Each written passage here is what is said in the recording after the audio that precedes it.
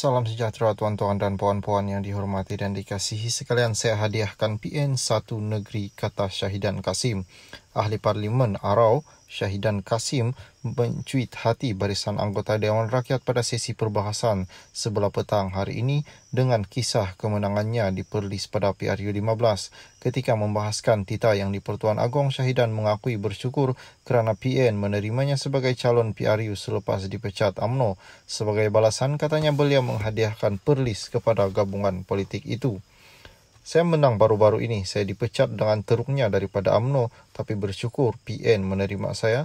Saya hadiahkan balik kepada mereka satu negeri katanya sebelum disambut gelak ketawa dalam kalangan ahli Dewan Rakyat.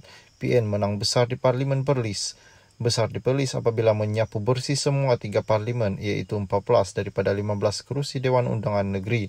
Syahidan sebelum ini dipecat AMNO susulan keputusannya bertanding atas tiket PN untuk mempertahankan Parlimen Arau pada 2005 pada PRI 15 selepas beliau tidak dicalonkan BN. Sementara itu syahidan ketika sesi sama mencadangkan supaya pun istilah pembangkang yang digunakan di parlimen ditukar kepada oposisi seperti yang digunakan di Indonesia. Alasan diberi syahidan istilah memberi gambaran peranan untuk semak dan imbang.